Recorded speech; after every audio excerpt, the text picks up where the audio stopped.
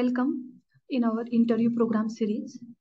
Uh, so today we are uh, checking uh, how uh, array will be reversed.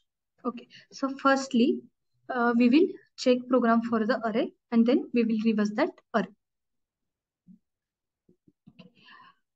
I already have a project interview program. I will give class for the array reverse.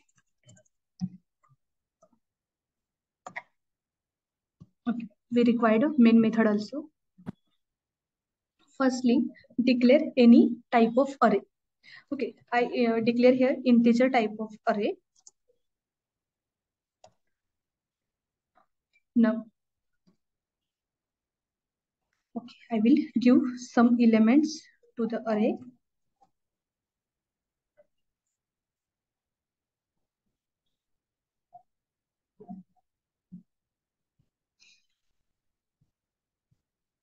Okay, firstly, uh, print that array. So for printing this, uh, I required a looping statement and for loop is better for the array. Okay. I will take here one index variable that will start from the zero because we already know that uh, array start from the zeroth index. So I initialize index variable uh, to the zero. Then it will goes up to the last index of the array. So if array having uh, array size 10, then last index will be the 9 because array starting from the zeroth index. So uh, we uh, having a one uh, inbuilt function, inbuilt variable to check for the uh, check length of the array. I will use that.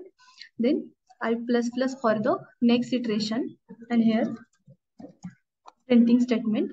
Uh, my array is num and I want to check uh, element that present on the index variable index. So I enter here index variable, uh, save this program and execute. Uh, just check the output.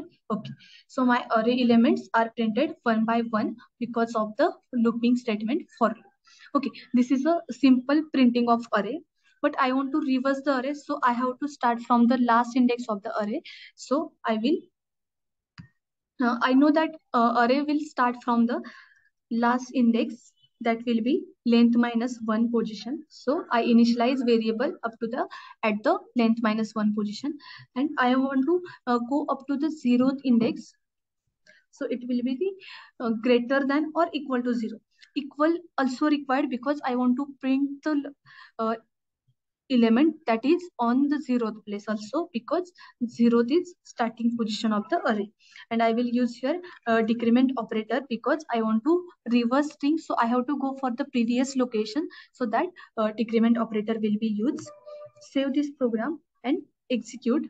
Okay. This is a reverse of the array. Thank you. Bye